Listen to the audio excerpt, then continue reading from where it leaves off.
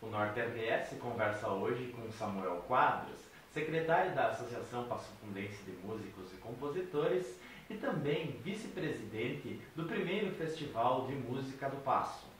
Samuel, como é que estão as inscrições para esse festival? Então, a gente teve muita inscrição, foram mais de 75 inscrições, é, onde a temática do festival é livre, né? onde apenas 12 vão passar, então os jurados na triagem vão ter um, um trabalho árduo para poder escolher essas músicas. E, então a gente espera que tenha uma resposta legal do público, assim, que lote a casa nos dois dias do festival. É, questão de estilos, tem alguma limitação de estilo? Foi imposto algum estilo para os músicos? Não, não. O, o festival é de temática livre, então tem desde música gospel, música tradicionalista, música nativista, rock and roll, é, hardcore, pop, reggae, música em inglês, música em espanhol. Então, hum, para o jurado aí vai ser uma questão. É trabalho.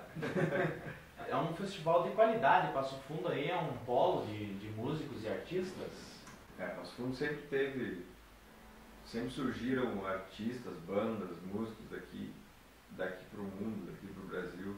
Então daqui sempre teve essa fama assim, de Passo Fundo gerar conteúdo musical de qualidade.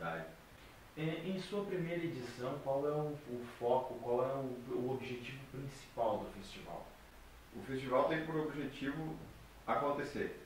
É para que se crie uma tradição de ter um festival, porque foi uma coisa que ficou para trás, assim, décadas, pegar a década de 60, 70, 80, tinham festivais grandiosos, acontecia sempre, e isso foi ficando para trás, ficando para trás, e a ideia é retomar isso, é unir compositor com músico,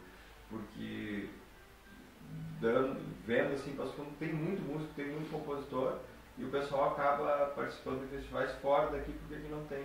Então a ideia é que se criar esse festival, a princípio, com músicos daqui, compositores daqui e da região, que tem alguma atividade musical em Passo Fundo, mas quem sabe para os próximos é abrir para que eles se tornem cada vez maior. A associação tem um papel fundamental. Sim, sim. É, foi através da associação que se criou esse primeiro festival de música do Passo. Então, a princípio são para músicos e compositores sócios da Associação Correspondente de Músicos e Compositores, e, e, englobando, como disse, músicos que atuam aqui, pode ser da região, é, próximo, da Passo Fundo, mas que tem alguma atividade musical na cidade.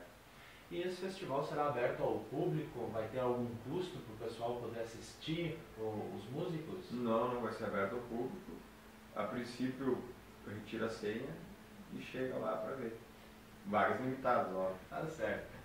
Muito obrigado. Acompanhe mais sobre o festival em norters.com.